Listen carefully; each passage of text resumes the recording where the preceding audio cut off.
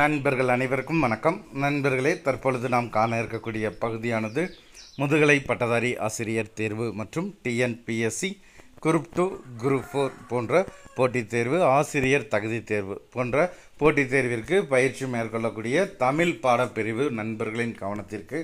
நண்பர்களே இந்த தமிழ் பாடப்பகுதியில் ஒன்பதாம் வகுப்புலேருந்து பன்னிரெண்டாம் வகுப்பு வரை இருக்கக்கூடிய பாடத்தினுடைய தகவல்கள் தொகுக்கப்பட்டு நான்கு பாகங்களானது வெளியிடப்படும் என்று அறிவிப்பானது நம்ம கொடுத்துருந்தோம். அந்த அறிவிப்பில் முதல் பாகம் கடந்த வாரம் நான் கொடுத்துருந்தேன். தற்பொழுது இரண்டாவது பாகத்தை நாம் பார்க்க இருக்கிறோம். ஸோ இந்த இரண்டாவது பாகத்தினுடைய முழுமையான தகவலானது தொகுக்கப்பட்டு உங்களுக்கு அதனுடைய பிடிஎஃப் முப்பத்தி ஏழு பக்கங்களுடைய பிடிஎஃப் ஆனது நம்ம இந்த வீடியோவினுடைய டிஸ்கிரிப்ஷனில் கொடுத்துருக்கிறேன். நண்பர்கள் பதிவிறக்கம் செய்து பயன்படுத்திக்கலாம். மீதி இரண்டு பாகங்கள் வரக்கூடிய காலங்களில் உங்களுக்கு நம்ம கொடுத்துருவோம். நண்பர்கள் பயன்படுத்தி கொள்ளலாம்.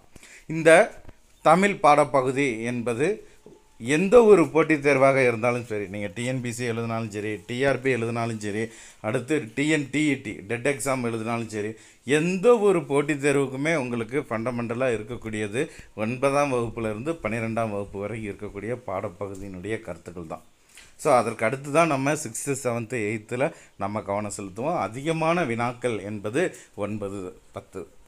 ரொம்ப இம்பார்ட்டன்ஸாக இருக்கும். அதுலேயுமே இந்த காவலர் தேர்வாக இருக்கட்டும் டிஎன்பிஎஸ்சி இல்லை குரூப் ஃபோராக இருக்கட்டும். ஸோ இதெல்லாம் உங்களுக்கு டென்த்து கேட்டகரி நைன்த்து கேட்டகரியிலே அதிகமான வினாக்களானது கேட்டுறாங்க ஸோ இதில் நம்ம என்ன பண்ணியிருக்கோம்னா இலக்கண பகுதியை மட்டும் தனியாக ஒரு பிடிஎஃபாக நம்ம கொடுத்துருவோம். ஸோ இருக்கக்கூடிய செய்யுள் இலக்கியங்களை முழுமையாக தொகுத்து இங்கே கொடுத்துருக்குறேன். ஸோ இந்த இலக்கியங்களே உங்களுக்கு நான்கு பாகங்கள் வரும். அது பிறகு இலக்கணங்கள் உங்களுக்கு பயிற்சி வகுப்புகள் கொடுக்க போகிறோம் கொடுத்துட்டு அதனுடைய குறிப்பை நீங்கள் பயன்படுத்திக்கலாம். இல்லைனா அதுக்கடுத்து உங்களுக்கு பிடிஎஃப் ஆனது நம்ம எப்படி பண்ணலான்னு சொல்லி ஒரு ஐடியா பண்ணிட்டு உங்களுக்கு பிடிஎஃபுக்கும் ரெடி பண்ணுவோம்.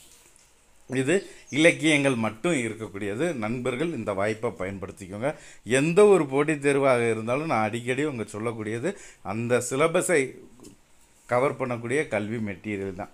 ஸோ அதுதான் நம்ம இங்கே நினச்சிரோம் ஒவ்வொன்றா தொகுத்து வச்சுருக்குறோம். அதனால நண்பர்கள் இந்த பகுதியை முழுமையாக பயன்படுத்துங்க.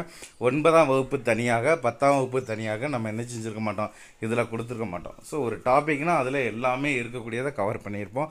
அதே மாதிரி தான் உங்களுக்கு ஒன்பது இருக்கும் பத்து இருக்கும் பதினொன்று இருக்கும் பன்னிரெண்டு இருக்கும். ஸோ அதே மாதிரி தான் நம்ம என்ன செஞ்சுருக்கோம்? ஃபுல்லாமே உங்களுக்கு கவர் பண்ணி இதில் கொடுத்துருக்கோம். நண்பர்கள் இந்த வாய்ப்பை பயன்படுத்தி உங்களுக்கான அரசு பணிக்கு உங்களை தயார் பண்ணிக்கோங்க. வரக்கூடிய காலங்கள் போட்டித் தேர்வு அறிவிக்கக்கூடிய காலமாக இருப்பதால் ஒவ்வொரு வாய்ப்பையுமே நீங்கள் பயன்படுத்தணுங்கிறதையும் நான் கேட்டுக்கிறேன். நன்றி நண்பர்களே.